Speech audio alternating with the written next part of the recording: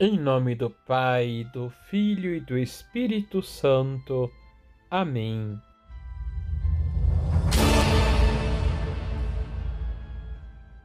Olá, tudo bem com você? Se todos os homens procurassem conhecer e amar a Deus, este mundo se tornaria um paraíso. Santa Gema Galgani. Deixe seu like, isso ajuda o nosso canal a crescer. Muito obrigado. Liturgia, Liturgia diária. diária. Na reflexão sobre o Evangelho de São Mateus, vimos que ele afirma Jesus ser o novo Moisés.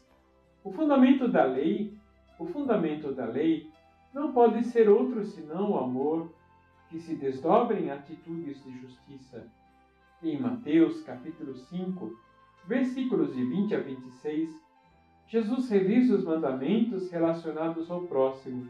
A forma de interpretar os mandamentos pelos mestres da lei e dos fariseus não satisfazia a necessidade de relações fundadas no amor mútuo, uma exigência divina. Por isso, Jesus adverte: se a vossa justiça não for maior que a justiça dos mestres da lei e dos fariseus, vós não entrareis no reino dos céus. No versículo 21, Jesus recorda que o assassinato já era proibido no Antigo Testamento. Quem tirasse a vida do seu irmão deveria ser punido. Ninguém pode se considerar justo por não matar uma pessoa. Jesus amplia o sentido da lei ao dizer: Eu, porém, vos digo: todo aquele que se encoleriza com seu irmão será réu em juízo. Jesus identifica três formas de pensar que ferem o próximo e que têm a sua origem na raiva, no ódio. Nenhuma raiva se justifica em si mesmo. O primeiro tipo de raiva, descrita no versículo 22, é o fato do irmão se zangar com outro sem motivo ou por desforra, por causa dos erros do próximo.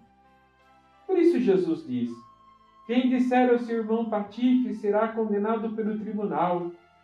Jesus ainda acrescenta: Quem chamar o irmão de tolo será condenado ao fogo do inferno. Tolo aqui tem um sentido moral. Chamar o outro de tolo significa dizer que ele não merece viver e expressa o desejo de morte do próximo. Aquele que alimenta a raiva contra o seu irmão será condenado ao fogo do inferno. Por isso, quem vai ao templo para oferecer um sacrifício ao Senhor, mas não se reconcilia com o seu próximo, oferece-o inutilmente, porque não agrada ao Senhor. Vamos rezar? Senhor, dai-nos um coração sensível à dor e ao sofrimento do próximo, capaz de estender a mão e de ser presença vossa na vida desses irmãos Livrai-nos do egoísmo que nos isola e nos fecha em nós mesmos, do julgamento que discrimina o irmão. Que o nosso coração seja sempre cheio de amor, bondade e senso de justiça. Assim seja. Receba a bênção do Deus Todo-Poderoso, Pai, Filho e Espírito Santo. Amém.